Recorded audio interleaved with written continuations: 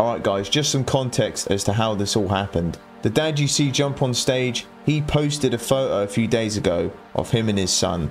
And the comedian on stage commented under his video, hence the reason why the dad's there. He pulled up. The comments in Spanish, but we got a translation here. This is what it says. Nothing and no one can prevent the possibility that he is gay and when he grows up and he gets tired of sucking black.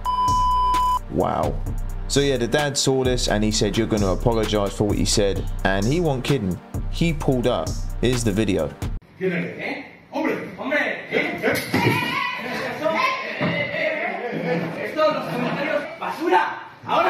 ¿eh? ¿Qué decías que iba a comer un? Mi hijo que iba a comer pollas, ¿eh? Con tres meses, ¿eh? Basura. ¿Eh? ¿Ahora qué? Dímelo, dímelo a la cara. Aquí ahora, ¿eh? Dímelo ahora. Perdonad, ¿eh? Lo siento, lo siento, lo siento, os pido perdón. Os pido, os pido perdón, os pido perdón. Soy únicamente un padre que defiende a sus hijos. Pero a lo Ha pues. hecho comentarios sexualizantes de mi hijo de tres meses. Y eso tiene sus consecuencias. No, ahora vas y me denuncias. Ya está. Es que mira, es que te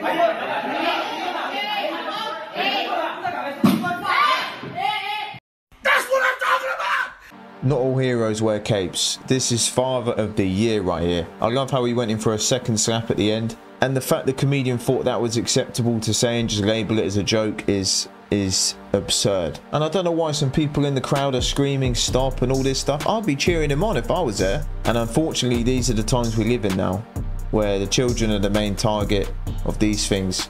I think we both know what we're talking about. Y'all know what's going on. And so do I. And all the news outlets labelled this man a right wing father. No, he's just a moral father, standing on his business, doing the right thing, what any father should do. And that comedian, they need to look through his computer history because he is a certified PDF. You know what I'm saying? You're going to jail. You're going to jail. Absolutely wild scenes, really. But let me know what you guys think of that in the comments.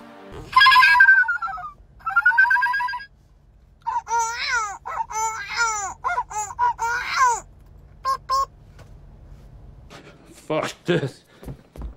Fuck. Fuck. Did you see this? Look at this. Father, think of the child. Like right here. Is it a valid initiative to bring universal basic income to Oregon? Oh no, we don't believe in that. You don't believe in that? No. Okay, why not? We believe in free markets. We believe in getting paid what you deserve. I have 10 years explicit pizza experience, right? Uh huh. I can't make more than two or three dollars over minimum wage, even with that experience, because nobody will actually pay what my labor is worth. So how does that fit into your? To my belief. Yeah. Because I believe that if you have a skill that isn't so much in demand, the market's going to pay you in, in direct proportion with that. If you have a skill that's high in demand, let's say Elon Musk, right? Uh, SpaceX, Tesla, stuff that is actually highly in demand, stuff that brings uh, a specific amount of value to the marketplace, then they're going to reward you off that. Okay. How about my bachelor's in environmental science? So degrees aren't um, really as useful as people would think. They're more an authority claim. So Okay. So then why then why should I, why should people go to college? Well, I don't think they should. You don't who, think told, who should? told you that? I mean, the entire society told me to do that when I was growing up. Yeah. And I went to school and I got a degree. Uh-huh. I have 10 years explicit pizza experience. What the f- what the fuck does that mean? that just had me laughing, man, to be honest. It's nice to see people having a debate without screaming and yelling like we normally see. This guy's really saying he went and got a degree, but he's out on the street complaining how his pizza experience, he wasn't getting paid the right amount. He didn't use that degree, and then he became a pizza guy, and it's everyone else's fault. I don't get it. Should trans women be able to play in women's sports? Oh wow, you hit me with that one. Yeah. Um, I'm a big advocate that everybody should have access to sport. So I- I- men I, genuinely can say, I want to play, I, I'm not getting in the team at Burnley or Chelsea or Tottenham, but I actually identify as a, as a woman now. They're going to take the place of an actual woman. Well, this take the place argument. I mean, In, in America, there are loads of people who lost scholarships because, like swimming scholarships, for example, because yeah, Lia I think Thomas. it- it's you shouldn't pick on someone who's trans just because you know they have taken someone else's spot. That that's just sport, right? Imagine, tell me if I'm wrong, but you wouldn't even be in the first like five divisions, would you? Oh, that's a bit. Well, I, I just remember Serena, so I think it was Serena Williams who said I wouldn't be in the first 300 of the men's. Yeah, I mean, look, that that's her opinion of her own ability. Um, but I played with boys up until the age of 14 and I was better than a lot of them. Yeah, but you weren't playing with, you know. No, I mean, Adam look, if I, if I, yeah, I mean, look, if I played with Kevin De Bruyne and I mean, I'll be, If she really believes what she's saying, she's just part of the problem that is just ruining women's sports today. Who in their right mind would agree with that? Whether she's saying it because she don't want to get cancelled or whatever. Her promoting this and saying this is just encouraging more flipping melons to get in women's sports and ruin them. I want to just state that for 5,000 years BC, Gala transcribed and androgynous trans priests of Sumerian goddesses have been around and noted. Since we are standing on Anishinaabe land, Turtle Island, which is the nation that we live under, um, has I don't had live under two-spirited Turtle people. Island. Right, well, maybe you should read a little more Indigenous knowledge books. You don't know what you're talking about, do you? Indigenous communities have used two spirit uh, personas for the en- entirety of their culture. You're pointing to civilizations that committed human sacrifice, okay? That's not a good argument. Yes, that's true. There were all sorts of terrible tribes. In fact, as recently as a little over 500 years ago, the Aztecs here in the Western Hemisphere slaughtered 80,000 people in a sacrifice to one of the demons that they worshipped within the span of four days. That's not a recommendation of doing that. I don't think that we ought to consider it. How does one know that someone with the total physical appearance of a man, how can one know that that person really is a woman?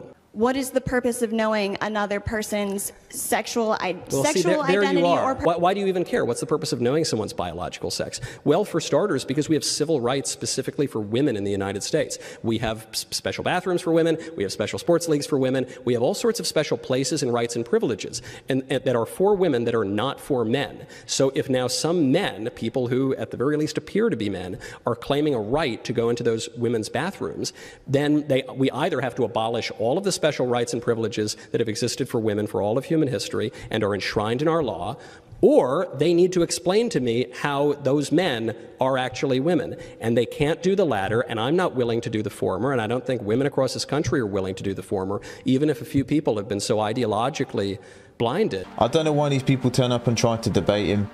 He's too smart for these donuts, man.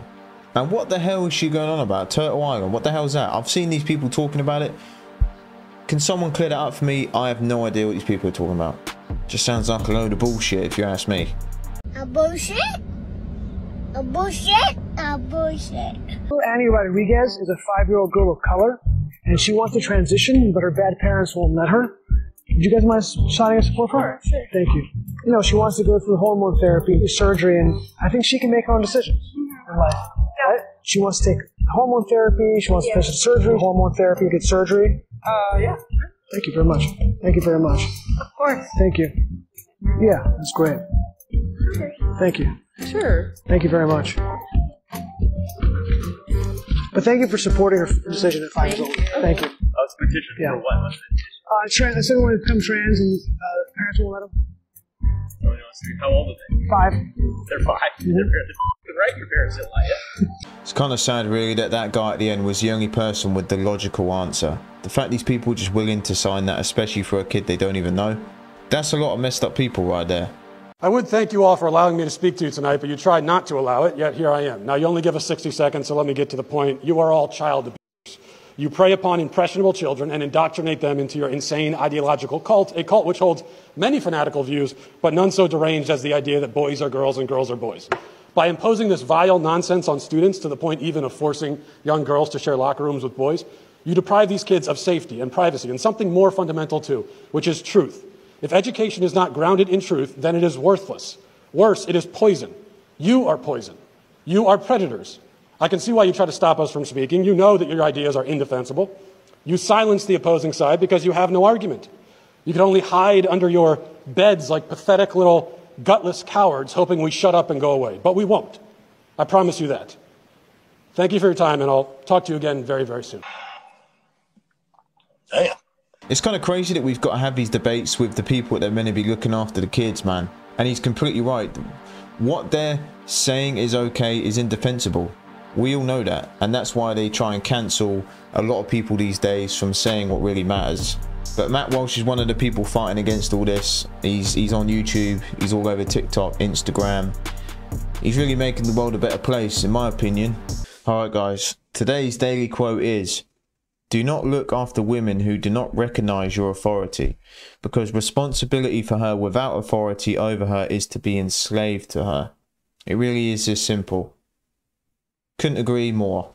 You have to respect your woman for who she is and her standing in your relationship as she does for you as the man. But women out here today are told not to do that because it's slavery and all the rest of the terms. And they all say they want a man who's responsible, who looks after them, but at the same time, they don't want to give the man any authority whatsoever. They can go out and do what they want when they want.